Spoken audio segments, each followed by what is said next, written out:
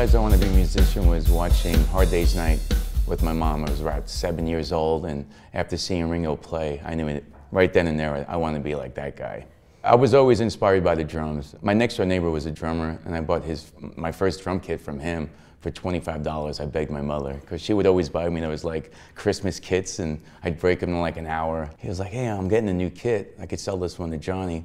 I'm like, Mom, please. So I just remember getting it that day. The next day I woke up, was a Sunday morning, and polished them up and putting jewelry around the kit and everything. And that was it, man. I, right, right then and there, I was about 11 years old. And I knew I'm going to just take this as far as I can go. I was always a rock drummer, like a hard rock drummer. And then I was asked by Exodus if I could do the tour with them. I was Charlie Benante from Anthrax's drum tech. And it was a big challenge for me to step into that kind of style. And so I did that, and from Exodus I went to Testament. And then after Testament, that's when I got the call for White Zombie. And that's kind of more my style, the groove kind of playing there. And then that led me into Rob Zombie. And after that disbanded, then uh, I got to play with Helmet, which was really exciting because playing, playing with Page Hamilton, he's just an incredible musician and made me a better player. You know, they do a lot of odd time styles and all that. So it was very challenging and exciting.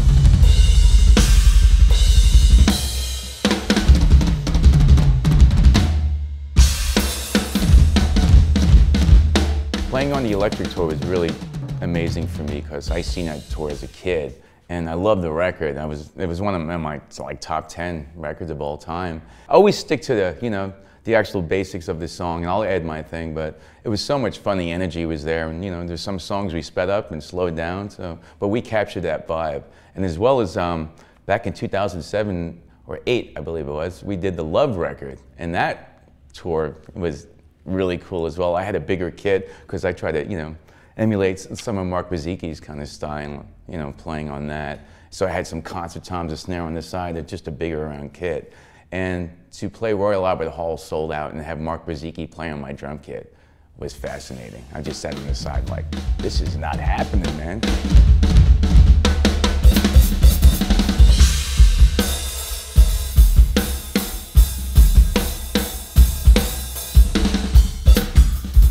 Have a lot of influences. Obviously Ringo, seeing Hard Day's Night. My older brothers got me into music. I was very influenced by the 70s rock as Led Zeppelin, John Bonham, Black Sabbath, Aerosmith, Kiss, all those bands from that genre.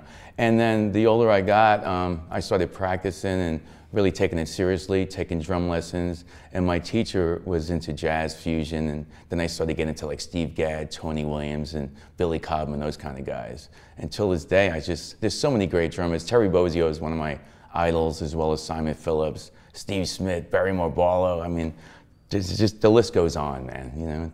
There's some really great drummers out there these days. I really love Brann Dailor from Mastodon. I love his style, and Danny Carey's a good friend of mine, and he's definitely at the top, you know, because I'm really into that progressive rock as well. The new generation, there's some really good kids out there, man, and they're playing fast, and it's like, wow, where'd, where'd that come from? It's exciting.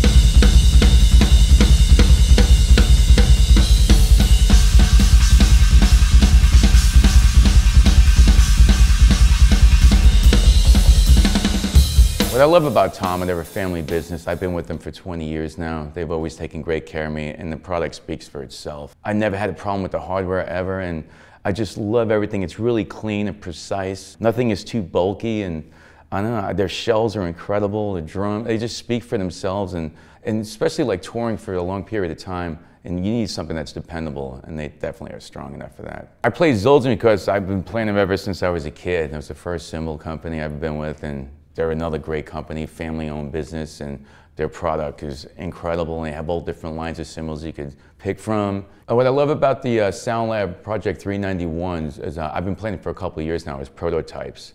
And I had talked to Paul Francis what I was looking for in the cymbal. It's really crisp, cuts through everything, clean, precise, and as well as durability. I, I had him on tour for the whole Cult Choice of Weapon tour, and I didn't break one cymbal and it cuts through loud music, and that's what I need for that type of style. I'll tell you a funny story. When I was a kid, I um, was taking a drum lesson. I had enough money saved, and I went to this music store and bought the cymbal. And on the way home, I was on the bus, and this old man said, "Is that a Zildjian cymbal?" I go, "Yes." He goes, "You're on your way, kid." I was like, "Right on."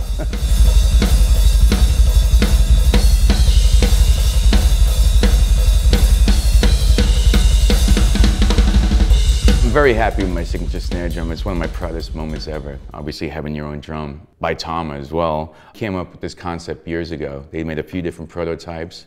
I would um, always play a bell brass drum. I wanted something close to that sound. So we went with a seven instead of six and a half, and this is two millimeter brass. And it's beautiful looking. It's all black brushed nickel, as well as the shell and the lugs and the throw off. And if you see the bottom of the snares are even black. So it's very stealth looking, cool. I could really tune it down, get the fat, warm sound out of it, as well as cranking it high, getting that really poppy, cracky sound out of it. And I use it in pretty much most of the records I ever recorded. I mean, since I had the drum.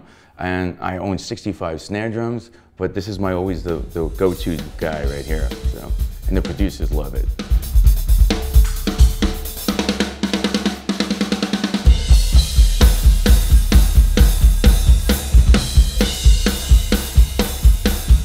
Was a kid, uh, playing drums was my way, my expression. You know what I mean? Just to break away from everybody, I would just like sit in a room for like hours at a time and just practice and not go out at times with my friends on weekends and really take it seriously. And I, and it's just the love I have, and I'm very fortunate. I just never lost that passion. It's just I love the drums and try to play as much as I can when I'm off tour and on tour. I just go to sound checks and it's just yeah something that right in here, man.